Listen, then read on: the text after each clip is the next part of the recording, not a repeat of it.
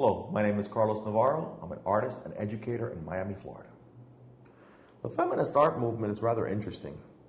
Let's go back to the Renaissance. Um, women, there were women artists in the Renaissance. Uh, one of them, Artemisia Gentileschi, a very famous uh, Italian artist, uh, actually one of my favorite artists, was uh, not really a feminist artist at all.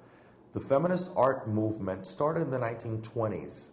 We had artists like Mary Cassatt and um, other artists that decided that it was time for women to have the equal access to art that men had.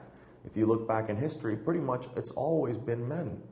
Uh, but in the 1920s, especially after women got the right to vote in 1919, uh, women realized that they could do more than just stay in the house and cook and clean and have kids.